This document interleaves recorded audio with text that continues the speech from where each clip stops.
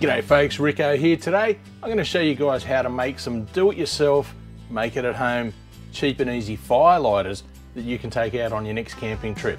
This is going to be a great little project. You can get the kids involved, get them excited for your camping trip that's coming up. Nothing more than this, a cotton ball and a candle. Too easy. Let's get stuck into it. All right, so you're going to need a few things to get you started.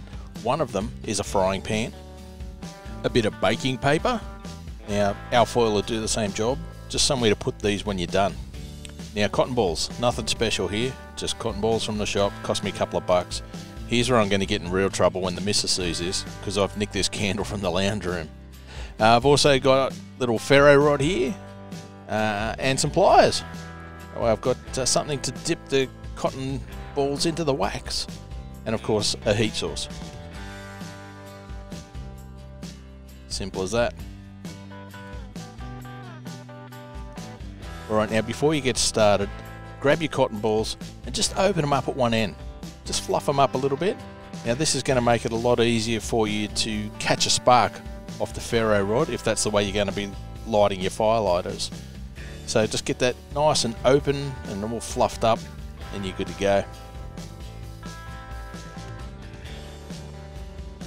Alright, we'll start by getting our candle out what do you call that thing? A bit of plastic there, better get rid of that.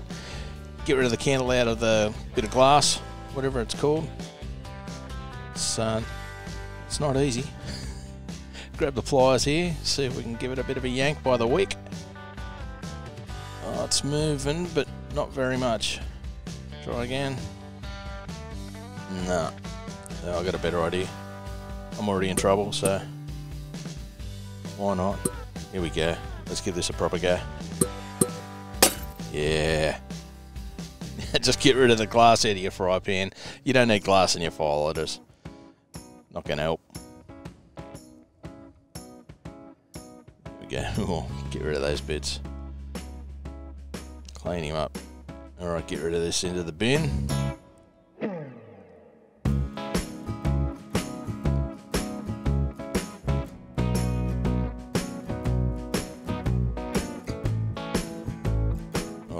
We're good to go.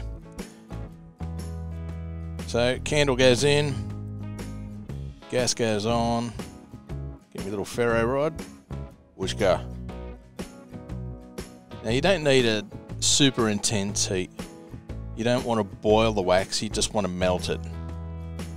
So we'll get that over there, and that'll take a couple of minutes.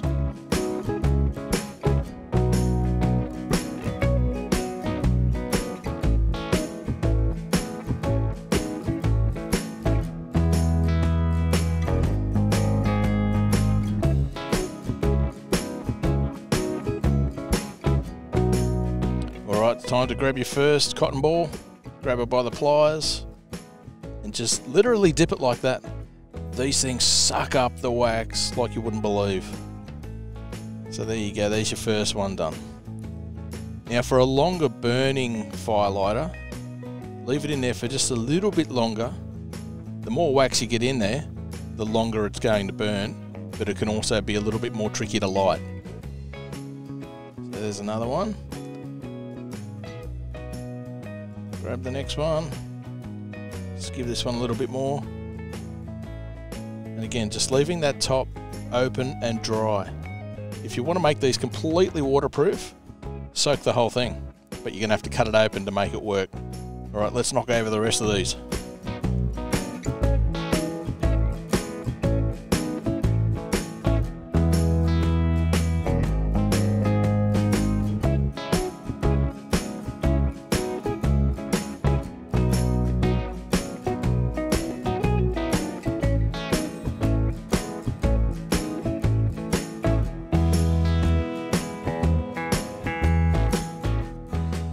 Let's see how these go. First one down in the pan. See, I fluffed it up a little bit. I grab me little ferro rod, spark him up. They're the bits you want to catch. It's nothing special. 40 bucks from BCF. There you go. First go. Now that will burn probably for about 10 to 20 minutes, just depending on how much wax you've put on there. The more wax you put on, the longer it's going to burn. Now, if you're going out in damp conditions, nice thick ones, ones that have got plenty of wax in them, that's going to be the a, a ripper way to do it. That way, when you've got your damp kindling and sticks, thing like that, you've got a fire lighter that's doing the trick. That will go for, for ages. But check this out. Glass of water. We talked about them being waterproof. Still going. So there you go. Cost us absolutely next to nothing.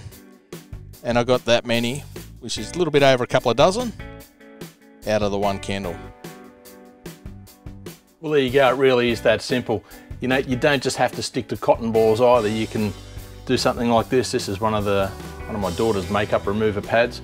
So a couple of those, dip them in the wax, completely waterproof. They take up no space. They cost next to nothing. Like I said, this is a great way to get the kids excited for that next camping trip coming up. They can help mum or dad light the fire when they're out there. They'll have a ball making these things. Now, if you've got your own recipe for some fire lighters, I'd love to hear about that. Stick them in the comments below. I'll catch you out there someday. Cheers.